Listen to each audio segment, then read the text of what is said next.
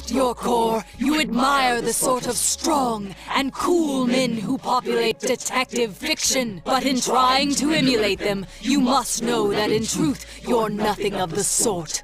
You're a child. Now then, our analysis is complete. Let us begin the body alteration procedure. Naoto.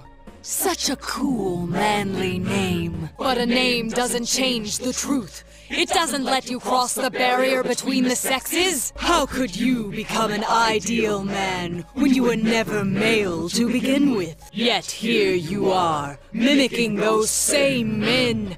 Stop it! After all, I am you.